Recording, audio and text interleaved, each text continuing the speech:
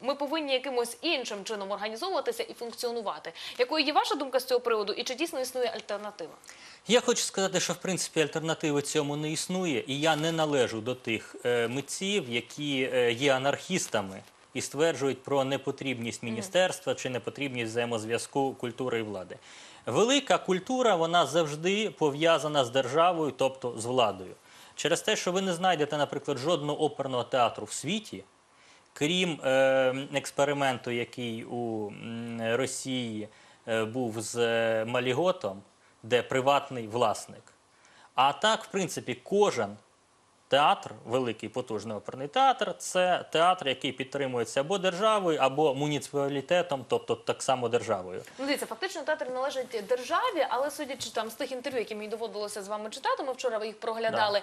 Вони активно підтримуються меценатами. Да. У нас такого немає. Що потрібно для цього У нас зробити? немає одного, у нас немає закону про спонсорство меценатства. Необхідний такий закон. Цей він закон існує. не найнеобхідніший з того, що сьогодні держава може зробити для культури.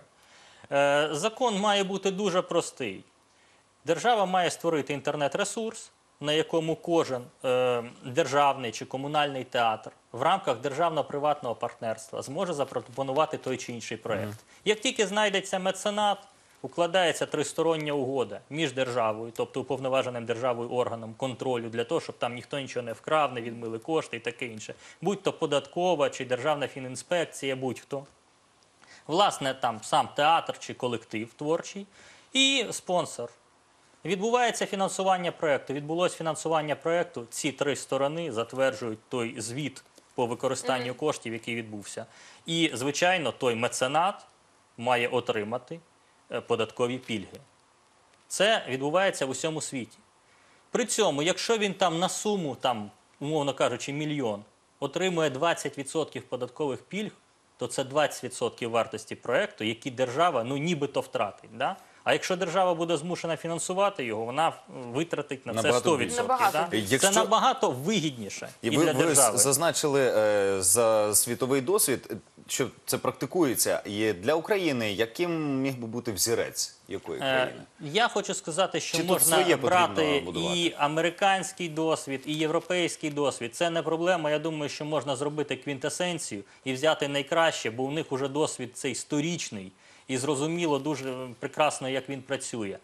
Е, На жаль, у нас е, є така ситуація, що у нас настільки часта плинність міністрів, настільки часто у нас змінюється уряд і Верховна Рада, що я, будучи 16 років в галузі, і останні 10, принаймні, активно пропагуючи цю ідею, від жодного з міністрів не почув ні. Кожен казав, да, супер, робимо. Але поки ми починаємо щось робити, е, зміна уряду або зміна Верховної Ради, і ми починаємо все з нуля. Ну, дивіться, один уже законопроект, так би мовити, наполовину був підтриманий. Це звільнення від е, ПДВ національного культурного проєкту. Вже і був підписаний він президентом. Да. Чому не дійшла справа до кінця? Е, Надійшла справа до кінця, знову ж таки, змінився уряд. А уряд до цього закону мав прийняти підзаконний акт, тобто постанову Кабінету міністрів, яка би регулювала, як цей закон має діяти, як він має А виконуватись. щоб він дав насамперед ось цей закон? Е, Цей закон дав би дуже просту річ. От дивіться, ну, наприклад, якщо говорити про е, національну оперу України, то у нас є бюджетне фінансування виключно на фонд заробітної плати. Все решта, що у нас відбувається, комуналка, постановки, е, всі витрати, які є в театрі, вони за рахунок наших власних надходжень. Якби ми з цих е, коштів, які ми заробляємо щорічно, могли не платити 20% ПДВ, то на ці кошти ми могли б зробити ще 2-3 постановки щорічно. Або запросити якихось виконавців, режисерів, диригентів.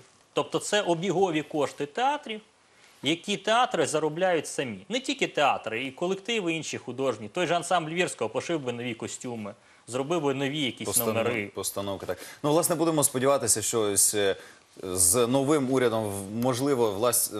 вдасться достукатися і е, якимось чином покращити е, становище. Ми дякуємо вам, що Дякуємо. завітали сьогодні Спасибі. до нас. Я ж нагадаю, що з Анатолієм Солов'яненком, головним режисером Національного академічного театру опери та балету України імені Тараса Шевченка, говорили про українську культуру, її роль у світовому контексті, а також про головні виклики, котрі наразі стоять перед нею. Ну і на цьому сьогодні будемо ставити крапку. Сподіваємося, що нам вдалося вас збадьорити та покращити настрій. Тож запрошуємо і початок завтрашнього дня починати разом із нами. Вмикайте канал Європейської столиці рівно о 8. Ну а закінчувати сьогоднішній ефір хочемо словами письменника Дейла Карнегі. Більшість важливих справ в світі були здійснені тими людьми, які продовжували намагатися, коли здавалося, що ніяких надій та шансів більше немає. Тож ніколи не опускайте руки, йдіть впевнено до своєї мети, і ви неодмінно досягнете бажаного. До зустрічі.